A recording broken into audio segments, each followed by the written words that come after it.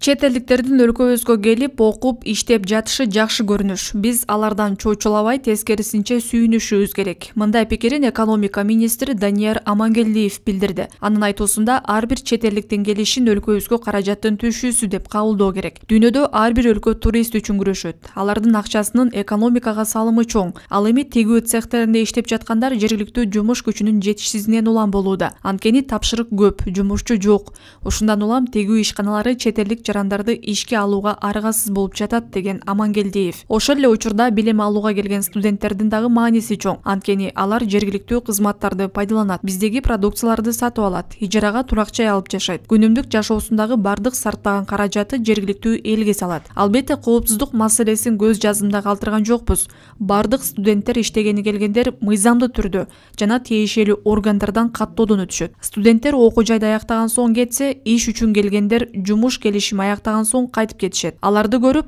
басып кетти каптап кетти деп айтуу туура эмес деген экономика министри